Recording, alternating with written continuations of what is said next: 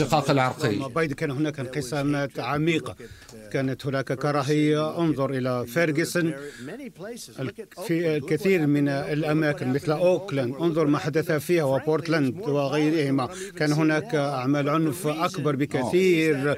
لكن السبب هو أن الديمقراطيين هذا أمر سخيف. يتحدثون عن القانون والنظام. أنت هل تؤيد القانون والنظام؟ أؤيد القانون والنظام؟ النظام والقانون. دعه يكمل دعه يجيب عن سؤالك. القانون والنظام. القانون والنظام والعدل حيث يعامل الناس على أوجهة المساواة.